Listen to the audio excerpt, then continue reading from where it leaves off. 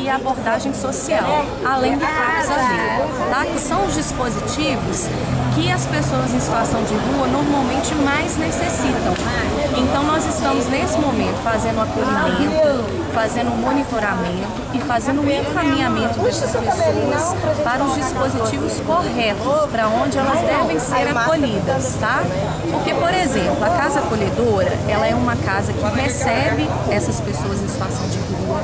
Lá nós oferecemos, né, é, as refeições, tem, é, as pessoas podem passar a noite, temos profissionais que são treinados para receber essas pessoas, para a gente poder resgatar vínculos familiares, fazer os encaminhamentos corretos. Então é exatamente isso que a gente está fazendo nesse momento, considerando que o Coreto é patrimônio público, né, e eles não podem permanecer nesse local. Então essa ação inicialmente é uma ação educativa, posteriormente a saída deles vai ter a limpeza, né, com a equipe do Bensul, outras equipes vão entrar em ação para a gente poder fazer esse trabalho da melhor maneira possível. Tá? Secretária, obrigado pela sua participação aqui na Rádio Mulher. Obrigada e bom dia a todos. Muito bem, Paulo, a gente conversa agora com o prefeito Grego, que pessoalmente veio acompanhar também esse trabalho. Prefeito, bom dia e parabéns pela atitude. Bom dia.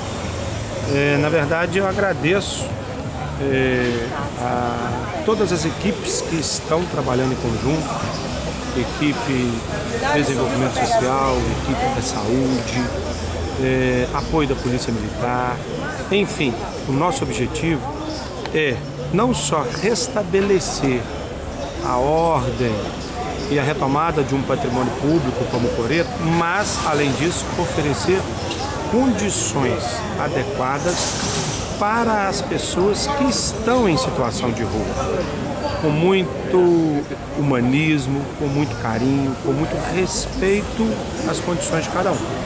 Mas fica aqui, aproveito esse canal de comunicação para fazer um pedido à sociedade. Que entenda que a melhor maneira de ajudar essas pessoas é encaminhando essas pessoas para as entidades que apoiam, para as entidades que estão preparadas para acolhê-las.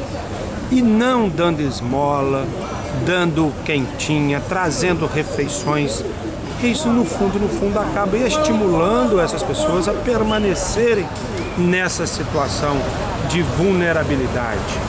Então é muito importante que a sociedade tenha essa compreensão.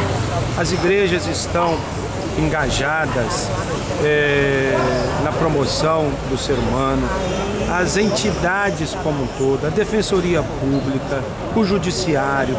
Então nós precisamos ter um trabalho em conjunto Senão, tudo isso que a gente está fazendo hoje acabará se repetindo amanhã, semana que vem. É importante é, que a população entenda. Nós temos é, imóveis, nós temos espaços adequados para acolher e tratar essas pessoas dentro das necessidades que ela tem. Muito obrigado por essa oportunidade.